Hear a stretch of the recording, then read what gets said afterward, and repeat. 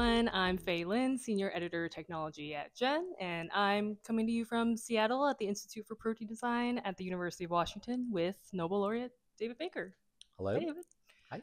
How's it going? It's so so great to be here in Seattle, and uh, you know it's Nobel. It's prize announcement week, and Seattle certainly has had uh, been on a roll in Nobel Prize winners. We know Mary Brunkow just won the Nobel Prize in Physiology and Medicine for for Tregs and the role in, in immune tolerance, and you really feel the the energy here in terms of the the powerful science in Seattle and and at the IPD. Very excited to talk more about protein design. A year after the Nobel, how David, how have the community been talking about protein design, the investment, the broader audience that's been reached after the Nobel? You know, what's what's protein design like these days? Well, it's it's getting more and more exciting. 10 years ago, 15 years ago, it was really on the lunatic fringe. The idea that if you wanted to make a new protein function, you would design it from scratch rather than starting from a native protein. And now that's becoming more and more, um, it's no longer on the lunatic fringe. In fact, um, almost every day I read about another company starting off to um, de novo design proteins for, you know, for some purpose. So I'd say it's entered the mainstream, which is kind of crazy to me. so, um, and you know, in the lab, it's been really, really fun. We've been, um, uh, you know, with the deep learning methods that we've been developing, we can solve harder and harder problems. And so, you know, every week or so, there's some new problem that long-standing problem that's getting cracked. So it's a really exciting time. And protein design certainly is uh, definitely reaching out. You know, you mentioned industry and and just so many companies these days launching covering specifically protein therapeutics. Uh, there's also a lot of conversations happening about hype reality, particularly around de novo design, proteins from scratch.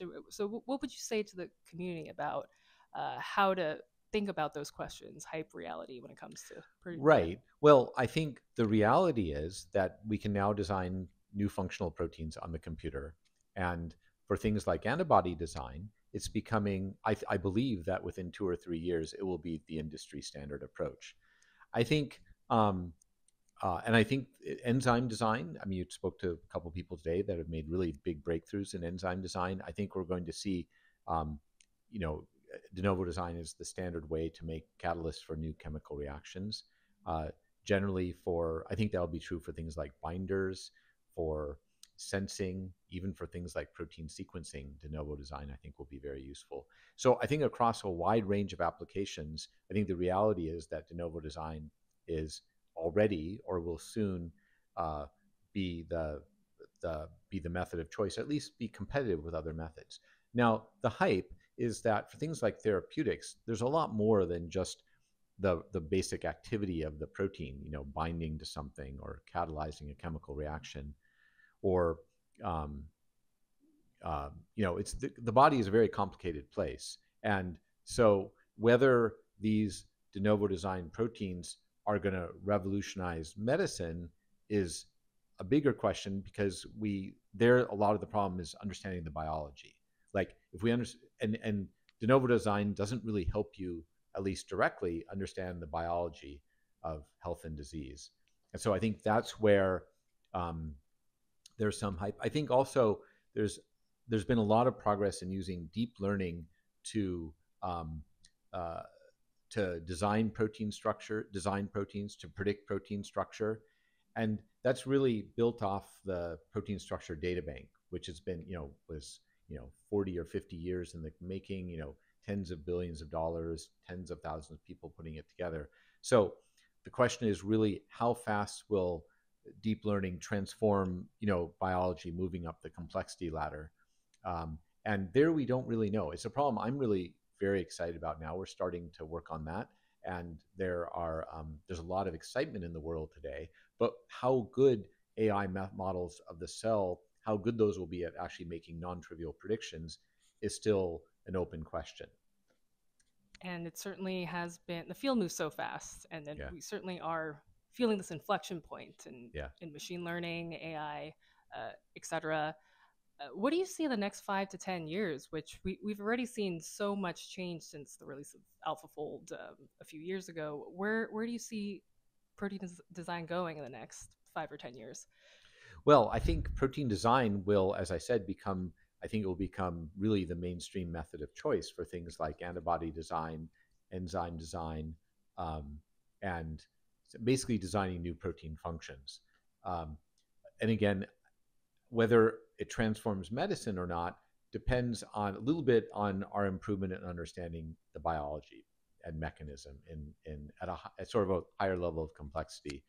Um, and then just more generally for deep learning in biology, whether we'll be be able to develop predictive models that you know describe what will happen if you add a particular small molecule to a cell or um, or or even um, an organism you know sort of models of higher levels of biological function. Um, it's a little bit hard to predict right now. And again i think a limiting thing is the data. There are one of the things that was really neat about the protein structure database is there was a, a agreed upon central database and people really devoted their lives to curating it and deciding on standards and the whole community bought in. So as we move up the biological complexity ladder there are a lot of data sets but it's much less standardized and um, and it's somewhat siloed you know every company will have its own data set. And so i think it'll depend a little bit on the ability, you know, the willingness of researchers and companies to pool data into, um, uh, you know, into publicly accessible sets. These training deep learning models requires really a ton of data. I mean, just to give a feeling for it, there are about 200,000 protein structures in the PDB. Each one of those has um, many thousands of atoms. And for each one of those atoms, you know the XYZ coordinates to considerable precision. So if you think about the number of bits of information in one structure, it's very, very large. Whereas most data sets in biology are, are much um, are have, have much less information content. So we'll need much larger numbers, you know, in the millions or tens of millions or hundreds of millions of data sets. And they also have to be really span a wide range of diversity. So it's a long-winded answer to saying that I think the limit, that where as far as how will deep learning be able to well how we'll be able to model things beyond protein structures and molecular interactions um, will depend on sort of the quality of and of the data sets that can be generated. Yeah, absolutely. I think data is absolutely crucial to any conversation about yeah. machine learning these days. So excited to see where the field goes and uh, how how we can expand upon public data sets uh, like the yeah. PDB. Yeah. All right. Fantastic. Well, this has been such a great conversation, David. Uh, thanks so much for spending the time. And if you're here in the in the audience uh, and want to see more content on AI from GEN, make sure to check out the State of AI and Drug Discovery streaming on October 29th. David here was our inaugural keynote for our 2024 event, and we're, we're thrilled to have another phenomenal program uh, with key players, Xaira Therapeutics, which David co founded, NVIDIA, Recursion, ARC Institute, so many more. So please uh, register. Link is in the show notes and hope to see you there. So till then, thanks, David. Okay. Well, thank you. All right.